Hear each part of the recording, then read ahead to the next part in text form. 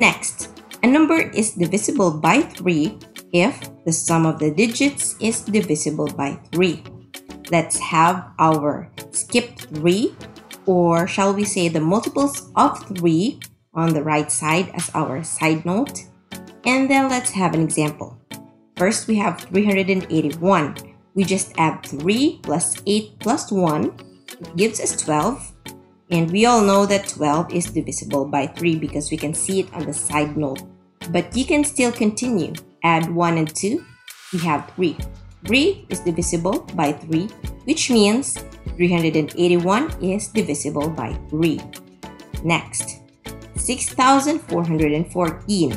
We add 6 plus 4 plus 1 plus 4, that is equal to 15.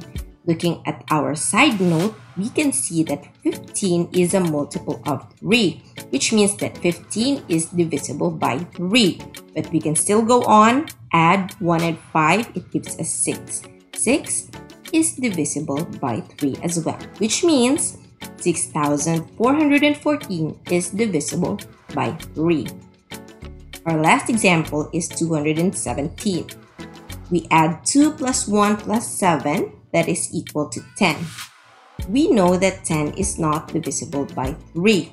We cannot find 10 in our side note, but we can still proceed 1 plus 0 is equal to 1 and 1 is not divisible by 3, which means that 217 is not divisible by 3.